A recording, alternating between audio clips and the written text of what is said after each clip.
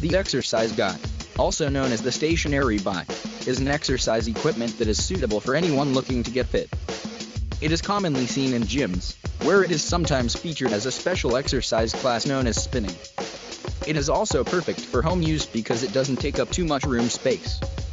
Later on, we will find out how to choose your very own stationary bike. When talking about its benefits, one can say that using an exercise bicycle is just as effective as cycling outdoors.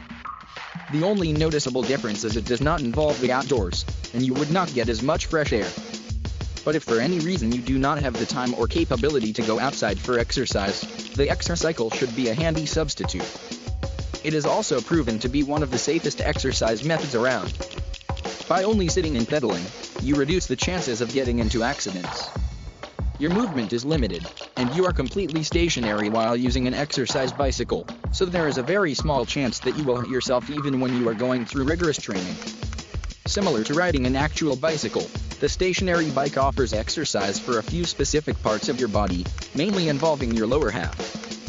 Your legs and thighs will be getting lots of workout when you install one of these in your own home.